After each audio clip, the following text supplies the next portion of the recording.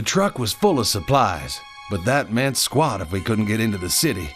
The power to the bridge was out. If I could get the generator started, we might just stand a chance.